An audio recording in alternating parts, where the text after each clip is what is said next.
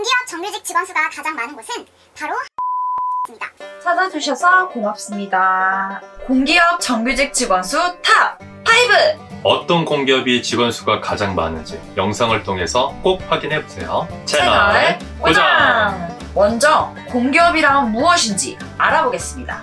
국가 또는 지방 공공단체의 자본에 의해서 생산, 유통 또는 서비스를 공급할 목적으로 운영되는 기업을 말합니다. 5위 한전 KPS 6,364명 한전 KPS 들어봤나요? 네 들어봤어요. 들어는 봤어요. 한전은 한전인데 뭐 다른 역할을 하는 것 같아요.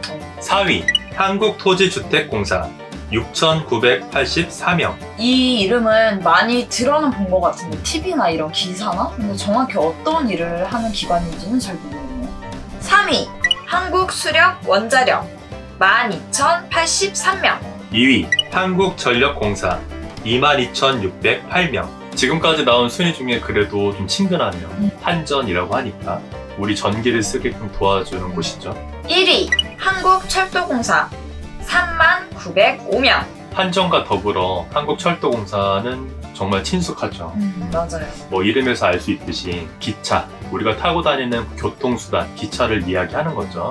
지금 나온 공기업들을 들어는 봤는데 각자 어떤 일을 하는지 정확히는 아직 모르겠어요 그래서 지금 순위를 하면서 궁금해져서 한번 알아봐야겠어요 음. 특히 공기업은 남녀 누구나 들어가고 싶은 그럼요. 기업 중 하나인데 저도 들어가고 싶네요.